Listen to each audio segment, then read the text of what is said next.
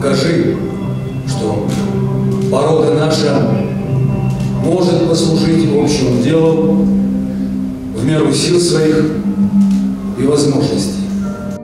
Сутки и один час. Столько продлился первый в истории длительный космический полет. Его совершил самый молодой космонавт, второй человек в космосе и наш земляк Герман Титов.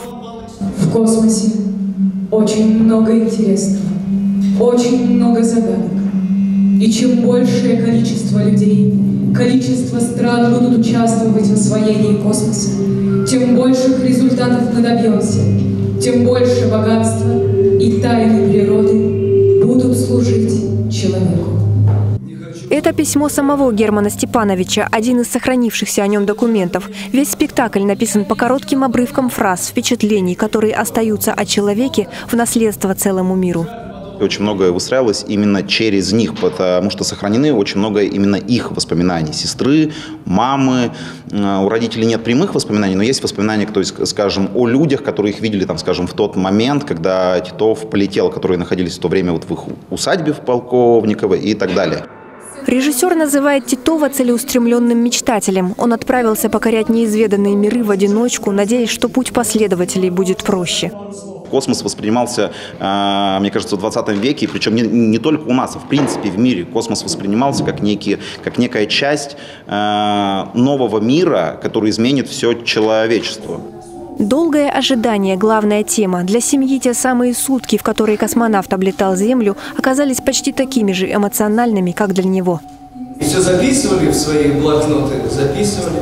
Ну, а мой вопрос, зачем это нужно? Они отвечали, что их интересует, так сказать, мир хорошего человека. А газеты обязаны этим интересоваться. Я читаю газеты и прекрасно понимаю.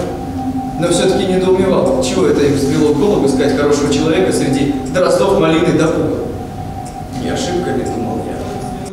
В дом к родителям приезжали журналисты и поклонники, хотя у них самих было море вопросов без ответа. Как долго продлится полет и когда ждать возвращения родного человека, покинувшего родную планету, никто из близких не знал.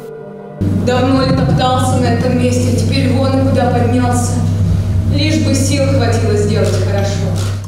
Документальный спектакль – особый жанр. Актеры исполняют роли родных и близких Титова. Для удачного воплощения образа пришлось приложить немало усилий сверх того, что требуется для игры классического художественного произведения.